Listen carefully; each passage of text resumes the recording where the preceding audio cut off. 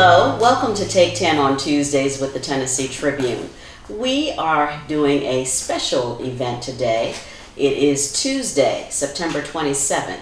Last night, Monday, September 26th, was the first presidential debate uh, between Hillary Clinton and Donald Trump. An historic event, the first time a woman is, is the nominee for a major party, and the first time a businessman who has no political experience is also the nominee for a party. We and our special guests today are to my left, State Representative Brenda Gilmore. Welcome. Good morning and thank you. All right.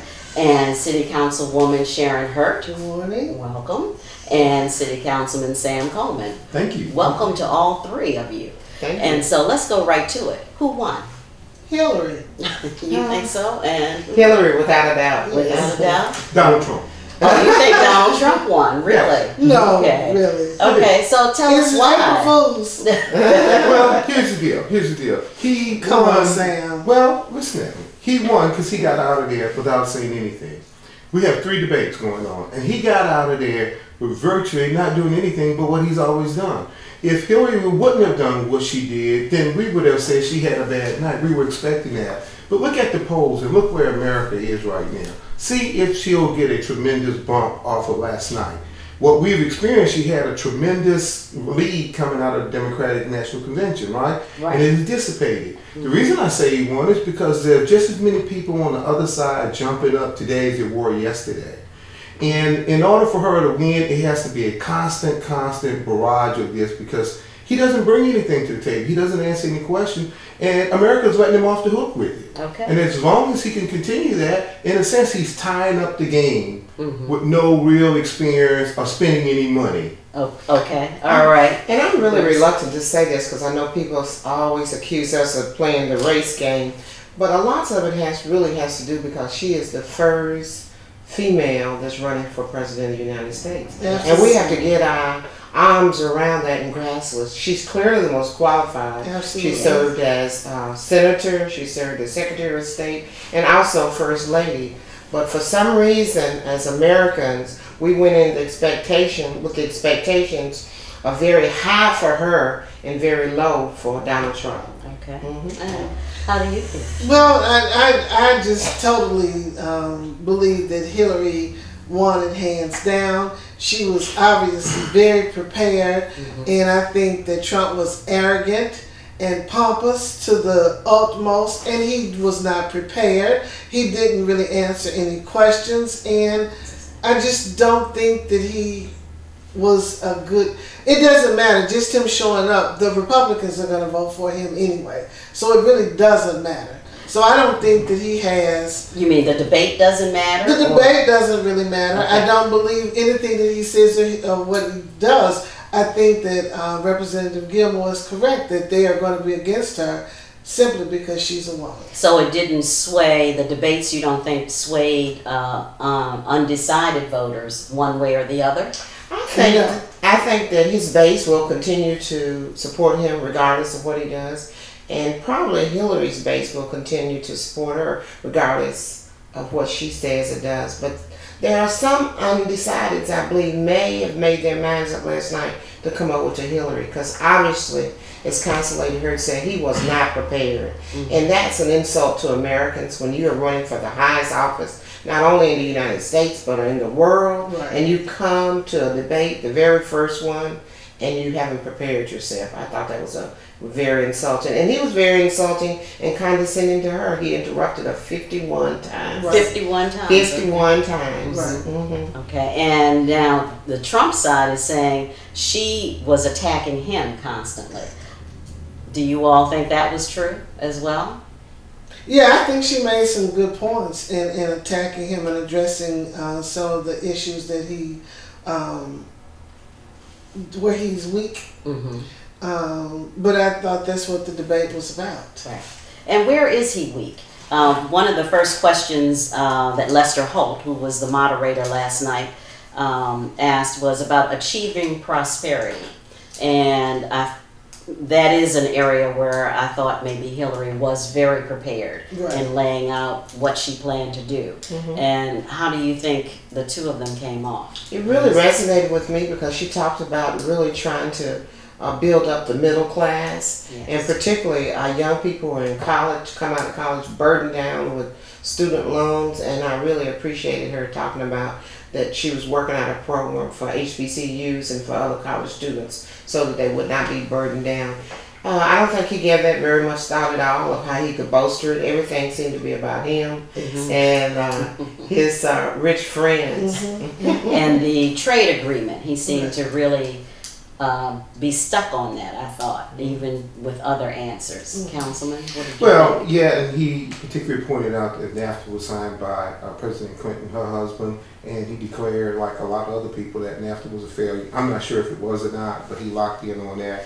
Um, the only thing that he brought to the table on that issue is the success that he's had, and that's just not quite enough.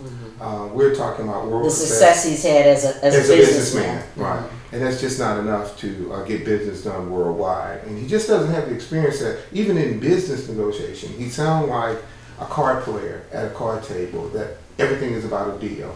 And I think um, America in the end will see that we just can't have a president that's willing to cut deals because if it was that easy, a lot of people would have fixed it. Just like healthcare. If it was that easy, we'd have been had healthcare. Right. But it took a phenomenon and it took a point in time in our history and life to make it come through.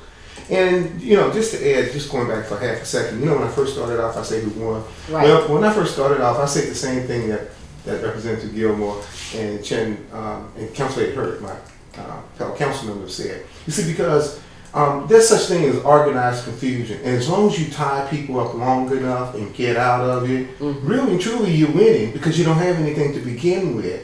So he's held America up. He's went through primary and 16 candidates, and look what he's gotten Yes. because he's talked He's about one So it's organized confusion, and in a sense, they're winning that. Look at the poll. How did he become 51-49? After that tobacco in the It is a Republican pretty amazing. And, and- So in a sense, you got to watch when you look at just the sheer emotions of a night where people say you're the sharpest, where American minds are and where they cast their vote. Mm-hmm. I hope they're wrong about the polls, but somebody think he's winning. Now, the polls seem to change every day. Um, so, and they do try to do instant polls and how people have them hold something and press how they were feeling. I was watching some of the uh, results from that and I thought, okay, so that's how you felt at the moment. But we've all had a chance to kind of sleep on it a little bit and come back and reflect. And I, you know, I, I still think that Hillary's demeanor was, she was very poised. Absolutely. Uh, she did not seem to give in to his attacks, which he continued to attack. He would lean into the mic. Uh, there was one point that he was making when the question came up about why won't he release his taxes. Mhm. Um, do you all remember? And, I thought that that was her greatest moment, actually. oh, really? I thought she, Why? Yeah, I thought she hit the ball out of the park with that because she just Mhm. went very calmly Right. and went through each reason why uh, she Americans of course, is why he doesn't. One is he's not as rich as he think, and that As as people said. as he says he is, Right. and that matters a lot to him how rich he is. Right. Uh, the other is that he doesn't give any money to, to charity. charity. Mhm. But he Then- says he does. Yes, and that he doesn't give any money to federal uh, taxes. He Right. doesn't pay any federal taxes. Well, he says he's smart. Uh, that's where he leaned in and said that's Exactly. because and I'm smart and he's business and that's the thing is that for as president you have to be compassionate also. Right. and i saw no compassion whatsoever. He kept referring to things as that's business that's smart that's deal you know? And that you cannot do that. You cannot address pros- um, poverty Right. and achieve prosperity without having some compassion for others. Yes. and and I just thought that that, that was just um, horrible uh, with the way he conducted himself and and a lot of things. Uh, your silence, uh, his facial expression spoke a lot. Mm-hmm. Yes. Whether his mouth opened, his facial expressions gave it all in, and and I think he was poor. Yeah, okay. Mhm. Councilman, you want to add? Well, I, I- I think both of the comments were, you know, were appropriate and well taken. Um, I think that the thing, the reason I keep going back to it is because, you know, there's a certain segment out there that is really leaning towards a change of some kind. And that's the thing that's frightening. As smooth as Hillary was, as prepared as she was, why are the numbers where they are? And again, I keep going back to if I can do nothing long enough and get this thing within inside of a few days and drop a bomb, why he continue to threaten? Next time I'm gonna attack Bill. He's wanting everybody to think he has something up his sleeve, and there's just nothing there. And in a sense, it's like mass confusion, but I'm winning on it. Uh, nothing he said philosophically made any sense. He has no basis for ISIS. He has no structure for our taxes. Nothing. Right. At one point, he threw in um, a point about Rosie O'Donnell, and I thought, I'm not sure what that has to do with anything. And, Right. and it was a question um, that Hillary was talking about what he had said Said about the- women. Right, and the Latino and then he honed in on one particular woman. and I'm thinking, candidate. Showing Yeah, 'cause your- he's your just point. so- no, no But now comparison. one thing, to women. I the think one thing it. he did not do that he could have, and that was forced Hillary to talk about her emails and all of that. That's something that he did not press on, and I'm not sure. It never came out clear why he did not do that. But speaking back to what Councilman Coleman is saying, it is frightening. And and just as I, I was saying that it doesn't matter what he does or what he says, I don't think it matters what Hillary or what we do. It mm-hmm. matters because you have those people who are just straight racist, and we are. This world is in a world of trouble. I mean, we need prayer mm-hmm. for sure. We need to unite for sure and come together and make things better for us locally, and hopefully that will then grow until we get to a point where you can see us all coming mm-hmm. together. And I think some of it has to do with the picture he paints of America too, that he is creating an atmosphere of fear. And when people are scared or fearful, then sometimes they're looking for someone to come and to save them. And mm-hmm. he's painted himself as that savior who can come and save the world and make everything right. I mean, to um, he talks about making America great again, but then to say that we are like a third world country. Exactly. I mean, how could you talk about America like that? We still uh, We're Well, still Well, but that not- sounds like slavery to me. I mean, making it great again is is taking us back to slavery where they were, where you know the wealthy were wealthy and the poor were very poor, Mm-hmm. and um, that that that's no bright uh, way for for us, you know, in a world like that. I think African Americans should be offended on two fronts. When you talked about Chicago in particular, we talked about 3,000 deaths, and we Right. talked about Yes. 4,000 dying under the president. And, um, you know, you pointed at one particular city. And that was kind of Rahm Emanuel, who was the mayor there, two-term mayor there. I mean, that was a direct slap in the face that we should be upset about. The second thing is when Hillary attacked him on the lawsuits in which um, he was said to have discriminated. Then he's his only claim is that um, he settled the case, Right. and he Right. didn't plead guilty or not guilty. Why didn't he defend that by saying, "I am mm-hmm. not a racist. Mm-hmm. Here's my record on things," but he didn't. He's allowed to brush past things that are important to us, and it's mm-hmm. real important that we peel back the onion because we're looking for more. We're looking for a real opportunity to continue the progress we've made. And he's looking for a real opportunity to take us back further. If a man will build a wall, he'll build a boat. And that boat is for us. Okay. Well, he, he his what he didn't say. That's that's the point. It's You know, not- he didn't. It's he the coded, it's the coded it. language. That's right. And we're letting him get away with it. And when we come out and you think, oh, you won, you won the number. Okay, look at the dial. Look at the needle that's moving. Mm-hmm. Because if you could read Romney and Barack last time, the needle was correct. Yes. Okay. And if this needle is correct, where it's showing in some polls 49, 51, some polls, somebody's out there. Right. Yeah. And Again, there's it's- more reason why And- we need to come together. That's Yes. right. And shouldn't fall for the okey doke of staying home and not not voting. Right. What really uh, concerned me though about this whole uh, birtherism conversation too, Yes. it reminded me a lot. He made the comment that President Obama should be glad, and I think he said America should be glad that he was the one who forced him forced him Right. to to. present a birth certificate.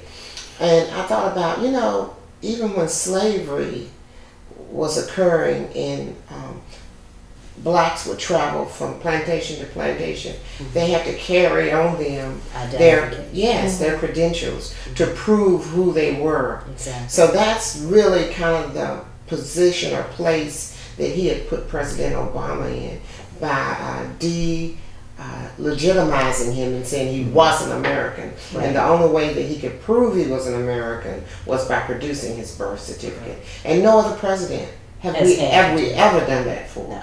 And carried on for four years. Five right. years. And still has not apologized. Mhm. All he said was he was born in America. Let's move on. Right. And see, Right. that's the things that I think African Americans should be incentivized on. I'm not talking about some of the other issues. I think um, student loan, those issues about discrimination, we need to hone in on particular issues that affect African Americans because we can depend on what they might call a liberal media to export some of the other ideas. But what we should be honing on are things that affect us directly. That's what we should be trying to tell people about. Latino, African American people that can decide this right. We need to peel back the onion and let's talk about what affects us daily. I like the smooth presentation. I like being prepared, but I need to know what affect me, what is the difference, so people can have an easy choice. Did either of them get to that point though? Did Hillary get to that or Trump? Well, I didn't- think she talked about it more so than, than Donald Trump did last night. She talked about student loans. She talked about um, a break for a middle class family. A plan that will grow us up, not take us from top to down, but from middle up. And thinking about those who are on the lower echelon. And uh, criminal reform. That's very important to us because she called it out just as it was in front of white America. And those are the things we need to hone in because chances are, if you are Latino, African American male, you're not going to get the same kind of benefit as a Caucasian. She had the guts to say that on Yes, national she TV. did. And Maybe it was those that Delta red she had on. I know. She Whatever it was, it was She flowing. came out and read, ready Red to rumble, didn't she? Yeah, she was And flowing. red is on women is considered a power Power, color, right, so right. and she looked powerful. Right. She did. She Uh-huh. did. and she sounded powerful. She sounded very prepared. I was I was very pleased. Mm-hmm. Uh, I was. on, on on every hand, I Mhm. thought that she had uh, studied very hard. She had um, she was she was she was very good. And what does um, Mr. Trump mean when he says she doesn't look presidential? Right. Oh, he's the one that did Yeah, the what is- president. what Oh, that and that was presidential and also uh,